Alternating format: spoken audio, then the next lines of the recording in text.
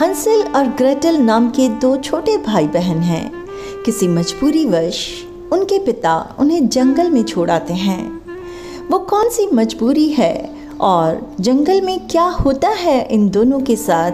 आइए जानते हैं इस हिंदी फेरी टेल को सुनकर, जिसे सुना रही हूँ मैं लोतिका, और आप हैं channel Lotika blogs fix easy की बोलती कहानियों में। दोस्तों, अगर आपने चैनल को अभी तक सब्सक्राइब नहीं किया तो सब्सक्राइब करते हुए बेल आइकन ऑन कर लें, ताकि ऐसी प्यारी प्यारी कहानियाँ आपको लगातार मिलती रहें। चलिए कहानी शुरू करते हैं। जंगल किनारे बसे गाँव में दो बच्चे रहते थे, हंसल और ग्रेटल। उनकी माँ नहीं थी। पिता थे, जो लकड़ी काटने का काम करते थे। हंसल और ग्रेटल अपनी माँ को बहुत याद किया करते थे। और उसकी याद में उदास हो जाया करते थे। बच्चों की उदासी दूर करने के लिए उनके पिता ने दूसरी शादी कर ली। हंसल और ग्रेटल नई माँ को पाकर बहुत खुश हुए, लेकिन उनकी सौतेली माँ उन्हें देखकर खुश नहीं हुई। वह एक दुष्ट औरत थी। वह किसी भी तरह उनसे छुटकारा पाना चाहती थी और इसलिए हर समय नए नए उपाय सोचा करती थी। वह रोज अपने पति से हंसल और ग्रेटल की शिकायतें करती, ताकि वो उससे नाराज़ हो जाए, लेकिन ऐसा हुआ नहीं। वो हंसल और ग्रेटल से बहुत प्यार करता था, इसलिए वह उन्हें प्यार से समझाता कि वे अपनी माँ को परेशान न करे और उसे किसी प्रकार की शिकायत का मौका न दे।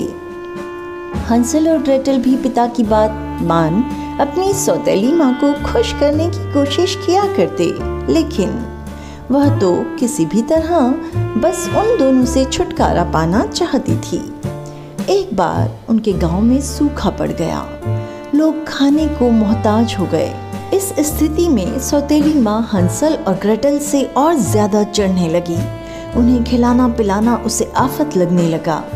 एक रात वह अपने पति से बोली, गाँव में सूखा पड़ा है, खाने के लाले पड़े हैं। ऐसे में हम हंसल और ग्रेटल को अपने साथ नहीं रख सकते। हमें उन्हें जंगल में छोड़ाना चाहिए। यह सुनकर हंसल और ग्रेटल का पिता उदास हो गया और बोला, वे नन्हे बच्चे हैं। मैं उनके साथ ऐसा कैसे कर सकता हूँ? कुछ तो उन पर दया करो। मैं कुछ नहीं जानती।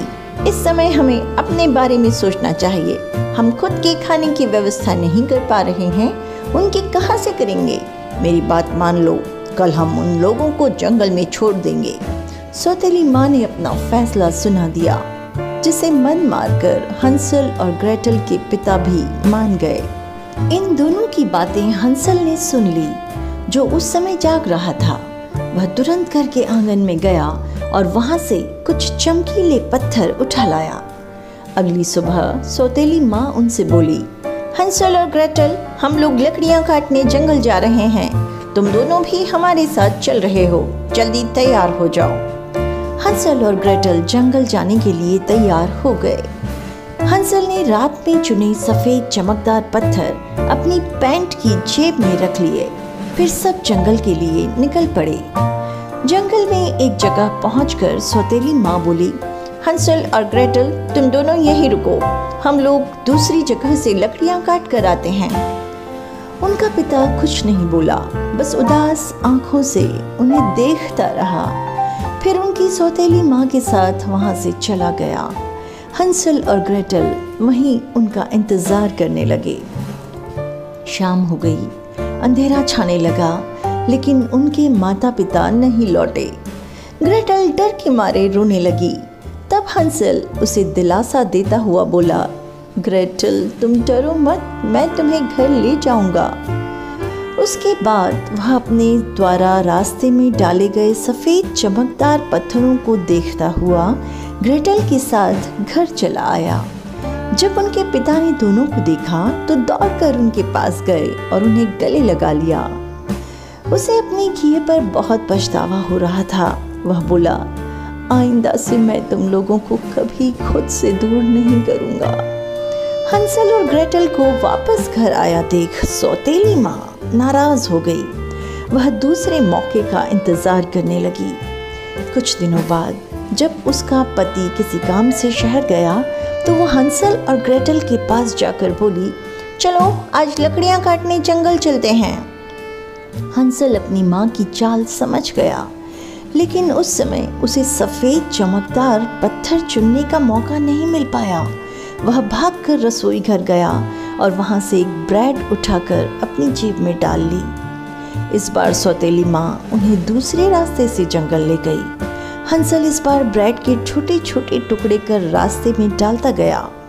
जंगल पहुँचने के बाद सौतेली माँ उन्हें एक पेड़ के नीचे बैठा कर बोली, तुम दोनों यहाँ बैठकर मेरा इंतज़ार करो, मैं दूसरी तरफ़ से लकड़ियाँ काट कर लाती हूँ। हंसल और ग्रेटल वहीं बैठकर सौतेली माँ का इंतज़ार करने लगे। शाम हो गई और फिर रात। लेकिन सौतेली माँ नहीं आई। ग्रेटल डर के मारे रोने लगी और कहने लगी, हंसल, अब क्या होगा? हम घर कैसे जाएँगे? जंगल में तो हमें जंगली जानवर मारकर खा जाएँगे। हंसल बोला, ग्रेटल, हमें सुबह तक जंगल में ही रुकना पड़ेगा। मैंने घर से यहाँ तक के रास्ते में ब्रेड के टुकड़े डाले हैं। लेकिन अंधेरे में हम उन्हें नहीं देख पाएँगे। सुबह होने पर हम उन्हें देखकर घर पहुँच जाएँगे। डरते डरते दोनों ने जंगल में पूरी रात बिताई। सुबह होने पर वे घर के लिए निकले। लेकिन हंसल ने जो ब्रेड के टुकड़े रास्ते में डाले थे, वे चिड़िया और गिलहरी खा गई थी।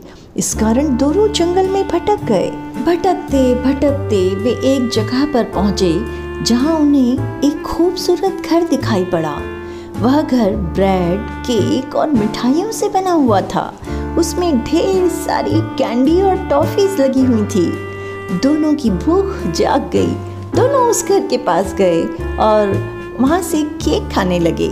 तभी एक बूढ़ी औरत वहाँ आई। उसे देखकर हंसल और ग्रेटल डर गए। बूढ़ी औरत बोली, डरो नहीं बच्चों, ये घर मेरा है। और मैंने इसे तुम जैसे बच्चों के लिए ही बनाया है। आओ, अंदर आओ, मैं तुम्हें अच्छा अच्छा खाना खिलाऊँगी। दोनों भूखे थे, इसलिए बूढ़ी औरत के साथ घर के अंदर चले गए। बूढ़ी औरत ने उन्हें ढेर सारा खाना खिलाया। खाना खाकर हंसल और ग्रेटल बहुत खुश हुए। उन्होंने बूढ़ी औरत का धन्यवाद किया और उसे अपने साथ घटी सारी घटना बता दी। उन्होंने उसे बताया कि अपने घर का रास्ता वे भूल गए हैं और जंगल में भटक गए हैं। उन्होंने बूढ़ी औरत से पूछा, क्या आप हमें हमारे घर पहुँचा देंगी? ये सुनकर बूढ़ी औरत ज़ोर ज़ोर से हंसने लगी और बोली, अब तुम लोग यहाँ से कहीं नहीं जा सकते। तुम्हें यहीं रहना होगा। मैं तुम दोनों को खाकर अपनी भूख मिटाऊँगी। दरअसल वो बूढ़ी औरत एक चुड़ैल थी, जो बच्चों को मारकर खाया करती थी। ब्रेड, केक, मिठाइयों वाला घर उसने बच्चों को आकर्षित करने के लिए ही बनाया था। उसने हंसल को एक पिंजरे में कैद कर दिया और बोली, जब तू मोटा हो जाएगा, तब मैं तुझे खाऊँगी। ग्रेटल को उसने घर के काम में लगा दिया। हंसल और ग्रेटल डर में जीने लगे। वे दोनों वहाँ से बाहर निकलने का उपाय भी सोचते रहते थे। एक दिन बूढ़ी चुड़ैल ग्रेटल से बोली, आज एक बड़े बर्तन में पानी गर्म करो। मैं उसमें हंसल का सूप बनाकर पीऊँगी। ग्रेटल डर गई। उसने ये बात जाकर हंसल को बताई तो उसे वहाँ से बाहर निकलने का एक उपाय सोच गया। उसने वो उपाय ग्रेटल के कान में बता दिया। फिर ग्रेटल एक बड़े बर्तन में पानी गर्म करने लगी। कुछ देर बाद बूढ़ी चुड़ैल आई और ग्रेटल से पूछने लगी, पानी गर्म हो गया क्या? ग्रेटल बोली, मैं इतनी छोटी सी हूँ और ये बर्तन इतना बड़ा, मैं इसमें झाँक कर कैसे देखूँ? आप खुद ही देख लो ना। बूढ़ी चुड़ैल बोली, ठीक है। और एक स्टूल पर चढ़कर बर्तन में झांकने लगी। तभी पीछे से ग्रेटल ने उसे गर्म पानी में धक्का दे दिया। गर्म पानी में जलकर चुड़ैल मर गई। ग्रेटल ने हंसल को आज़ाद कर दिया और हंसल ग्रेटल से बोला, अब हमें बिना देर किए यहाँ से बाहर निकल जाना चाहिए। ग्रेटल बोली, भाई, मैंने यहाँ एक मटके में ढेर सारे सोने के सिक्के और हीरे जवाहरात देखे हैं। क्यों न हम उनमें से कुछ अपने साथ ले चलें? इससे हमारी गरीबी दूर हो जाएगी और हम कभी भूखे नहीं रहेंगे। हमारे माता पिता भी हमें घर से नहीं निकालेंगे। दोनों सोने के कुछ सिक्के और हीरे जवाहरात एक थैले में डालकर घर से बाहर निकल गए। इधर उधर जंगल में भटकते हुए वे किसी तरह शाम ढले अपने घर पहुँच ही गए। वहाँ उन्होंने देखा कि उनका पिता घर के बाहर उदास बैठा हुआ है। वे जब पिता के पास पहुँचे तो उन्हें देखकर पिता रो पड़ा और उन्हें गले लगाते हुए बोला, बच्चों, मुझे माफ़ कर दो। मेरी वजह से तुम्हें इतनी परेशानी हुई। अब तुम्हें कोई परेशानी नहीं होगी। मैंने तुम्हारी सौतेली माँ को घर से निकाल दिया है। हंसल और ग्रेटल ने अपने साथ घटी। पूरी घटना पिता को बताई और उसे सोने के सिक्कों और हीरे जवाहरातों की थैली दे दी। उससे उनकी गरीबी दूर हो गई और वे हमेशा के लिए खुशी खुशी रहने लगे। तो दोस्तों, इस कहानी से हमें ये सीख मिलती है कि विपत्ति का सामना हिम्मत और सूझबूझ से करना चाहिए। तो कहानी कैसी लगी कमेंट छोड़कर ज़रूर बताएँ। जुड़े रहें मेरे साथ चैनल को सब्सक्राइब करते हुए और कहानी अच्छी लगी हो तो इसे लाइक और शेयर करना ना भूलें। Thanks for watching.